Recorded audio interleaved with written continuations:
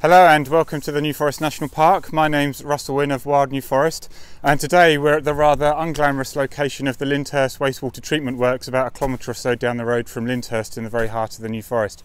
The reason for coming here is we want to just raise awareness to the issue of sewage discharges into some of our fantastic New Forest rivers Um, it's worth stating that Wild New Forest isn't a campaigning organisation, but if we see first-hand observations of negative impacts on the New Forest habitats and wildlife, uh, we will endeavour to raise awareness of that amongst the public and also engage with the relevant authorities to try and get something done about it. And this issue uh, of sewage discharges into rivers, not just in the New Forest but nationally, uh, is very topical right now. So let's go uh, 100 metres or so away. We're going to go and look at the discharge site from this works into the headwaters of the Beaulieu River.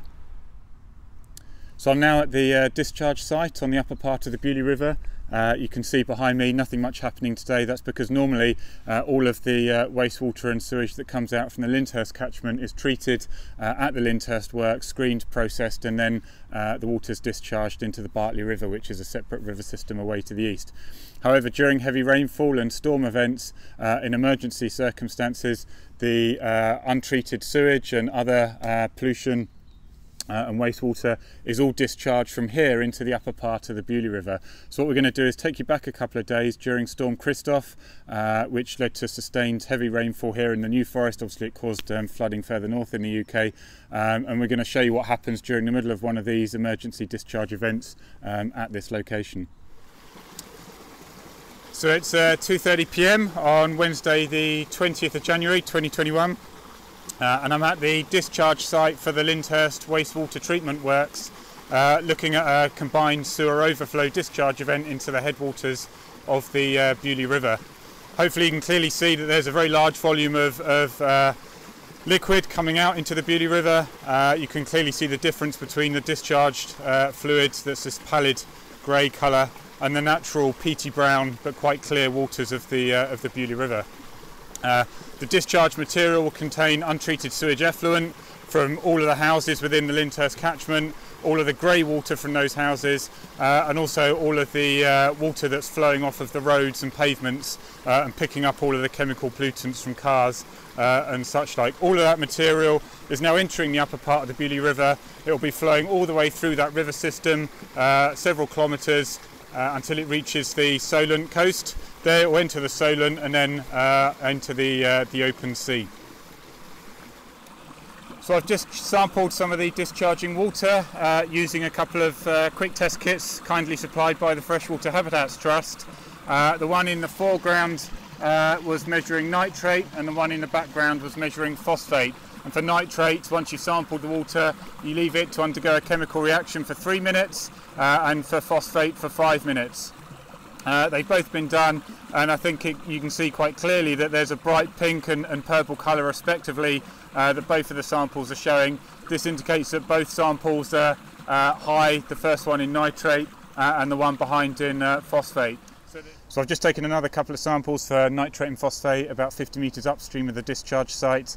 Um, and you can see that uh, both of the nitrate in the foreground and, and phosphate in the background there uh, are both giving very uh, low signals uh, or no signals effectively. The slight discoloration is just the peaty uh, colour of the uh, water naturally. So what this is telling me is that there's no nitrate or phosphate to any significant degree in the natural waters above the discharge site, even though we've had this very high rainfall event um, over the last 24, 36 hours because of Storm Christoph. So as with all of the New Forest rivers and streams uh, upstream of the discharge site, this is a really clean uh, natural water body, um, just as it should be.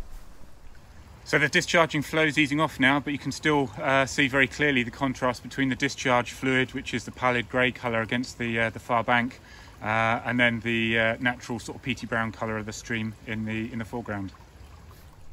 So it's a couple of days after the discharge event and uh, I've come about a mile or so downstream from the discharge site to a lovely location called Longwater Lawn on the Beaulieu River. You can see the river and some of the bankside alder trees behind me here. It's a beautiful morning. Storm Christoph feels like a, a very distant memory. Uh, I've been hearing woodlarks singing and, uh, and it's a fantastic sunny, sunny day. And the reason for coming here is to show you that this part of the river was uh, restored a few years ago, uh, and that means that its natural meandering uh, course was reinstated.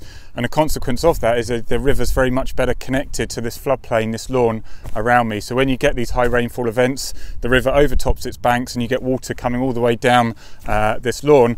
And as the water recedes, some of that water then remains in these overbank pools, such as the one that I'm standing in here.